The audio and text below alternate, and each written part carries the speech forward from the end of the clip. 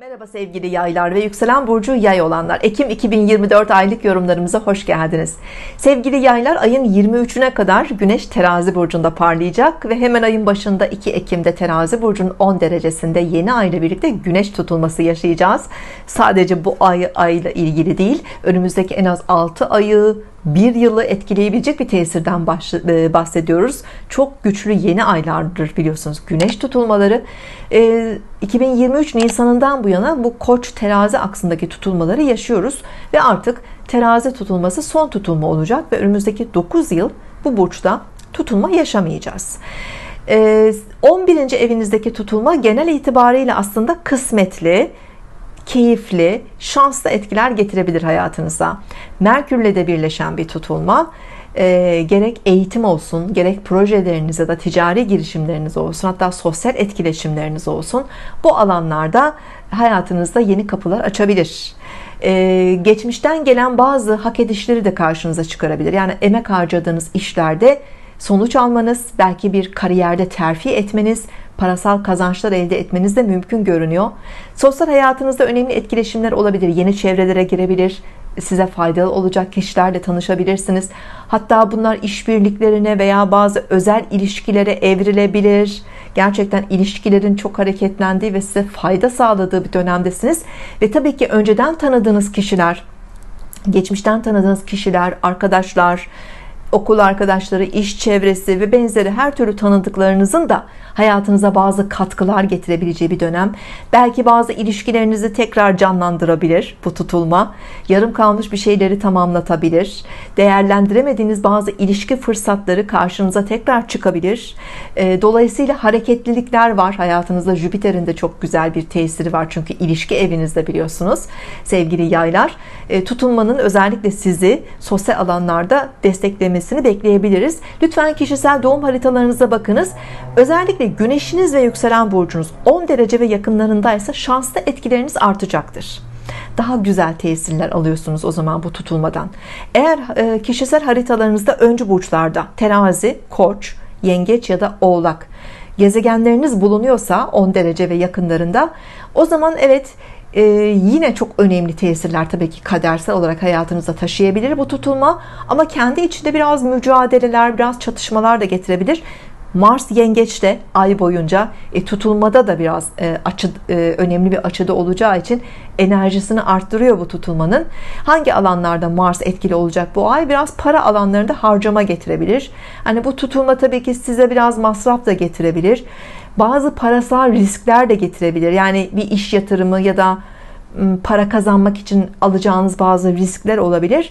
Dolayısıyla bunu iyi yönetmek gerekiyor. Çünkü 8. evinizde bir Mars var para evlerinizi etkileyen bir Mars ay genelinde size genel olarak daha fazla harcama getirebilir parasal risklere karşı da biraz daha temkinli olmanızı gerektiriyor ee, sevgili yaylar Evet ve 9 Ekim'de yönetici gezegeniniz Jüpiter ikizler burcunda gerilemeye başlayacak Jüpiter biliyorsunuz Mayıs sonundan itibaren ikizlerde ee, her yılda 4-5 ay kadar retro yapar 5 Şubat'a kadar geri harekette olacak. Yani bu ne demek? Karşıt burcunuzda yönetici gezegeniniz gerileyecek.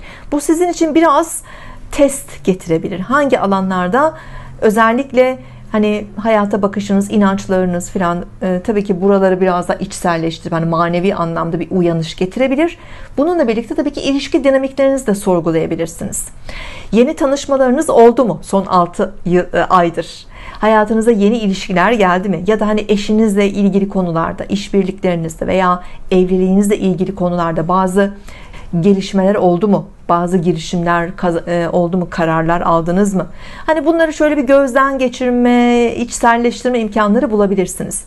E, tabii ikizlerdeki bir Jüpiter işte konuşmalar demek sözler demek bilgi trafiği iletişim eğitim konuları ticari aktiviteler anlaşmalar sözleşmeler gibi etkiler getirebilir.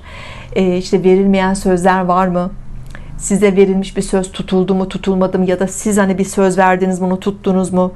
Bir anlaşma bir imza konusu istediğiniz gibi gidiyor mu?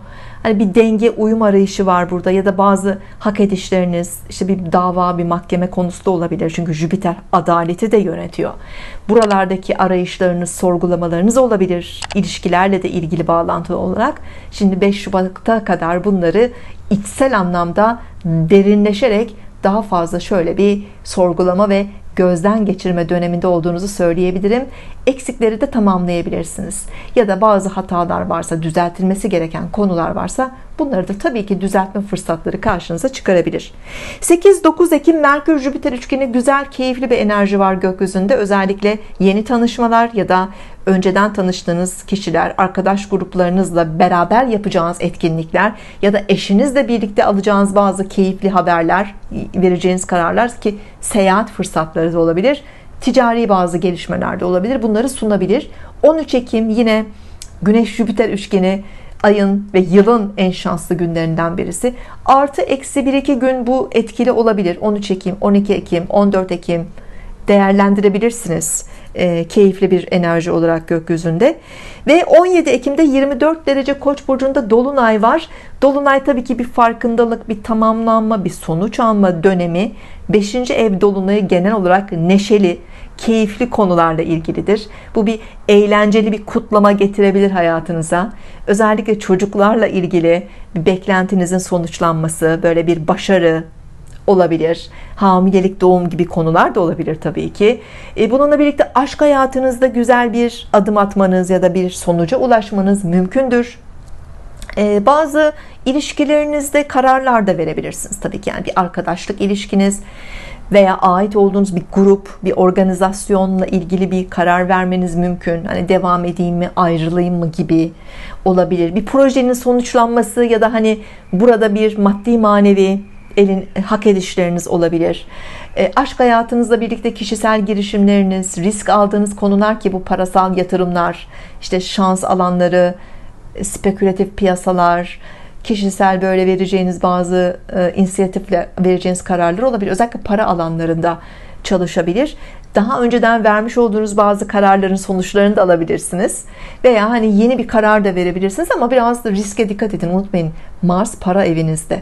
Üstelik Plüto da son derecelerde Oğlan son derecelerinde artık hani son kez Oğlak Burcu'nun son derecelerinde olacak 12'sinden itibaren de ileri harekete geçiyor retrosunu bitirecek şöyle bir para evinizde bir artık e, düzenleme yapmak istiyor e, yatırımlarınız işte kaynaklarınız e, gelir elde ettiğiniz konular ve yani risk aldığınız konular harcamalarınız e, bütçeniz, muhasebe işleri falan hani buralarda borç alacak konuları şöyle bir dikkat etmenizde gereken bir dönem olduğunu söyleyebilirim. Tabii ki herkes aynı şekilde etkilenmiyor. Lütfen kişisel doğum haritalarınıza bakınız.